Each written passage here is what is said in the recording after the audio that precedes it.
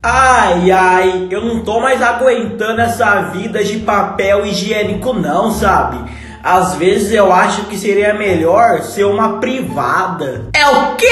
Que você tá falando, papel, parça? O que você tá falando, mano? A minha vida é muito mais difícil que a sua, seu bobo. Ih, parça, claro que não. Isso é uma privada é mó de boa. E agora, e eu aqui, ó. E eu que todo dia eu sou passado na bunda de alguém. Ah. Ah, parça, é sério que você acha que a vida de um papelzinho é mais difícil do que a vida da privada? Que todo dia vem alguém e caga nela? Vai se ferrar, você é muito mimizento. Eu queria ver se fosse você aqui, ó, todos os dias, sendo conhecido como o lugar mais nojento da casa.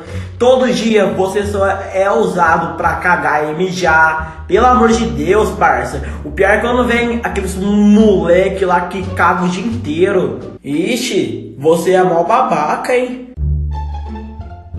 Ah, não. O que, que, que você quer? Que? Que? Ah! Ele peidou, parça.